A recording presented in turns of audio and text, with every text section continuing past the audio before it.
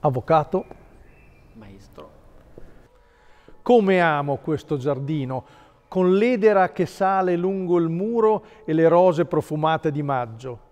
Venite qui, ho fatto mettere un tavolino e ho tutto ciò che serve per scrivere la mia musica. Allora, caro Rossini, ho inteso che le hanno dato del codino. Lo so, lo so, me lo dicono sempre anche i repubblicani, i quali avrebbero preteso che io diventassi il capobanda di tutte le musiche militari. Troppa grazia. Era una prova di liberismo che vi si chiedeva. Ne date tante voi, infatti. Infatti che cosa?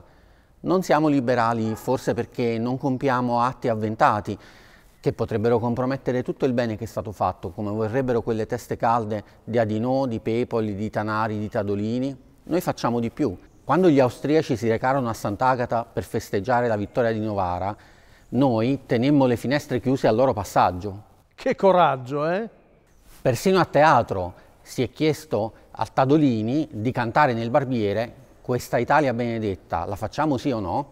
Già, e chi andò in carcere fu il cantante ma non mostriamo anche noi pubblicamente un ardimentoso patriottismo per non servirci di merci austriache, non fumiamo e non tabacchiamo più.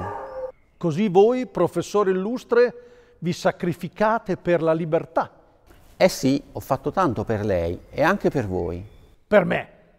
Certo, sono stato io a pregare il povero Ugo Bassi di persuadere i bolognesi a richiamare voi illustre maestro, dopo che tre anni fa ve ne andaste. Causa e fischi, già. Gioacchino Rossini, onore d'Italia, non deve, no, ricevere questo affronto dalla sua seconda patria che egli tanto ama. Bene, bravo, una presa, professore. In alto i cuori. Grazie.